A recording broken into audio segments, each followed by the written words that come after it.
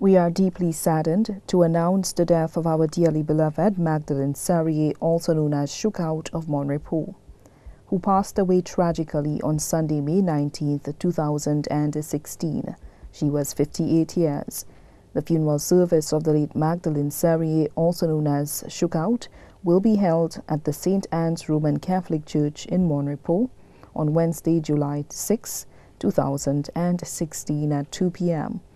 Then the body will be laid to rest at the Mon Repos Cemetery. The body now lies at Ram Valley's funeral parlor in Latouny, VA4.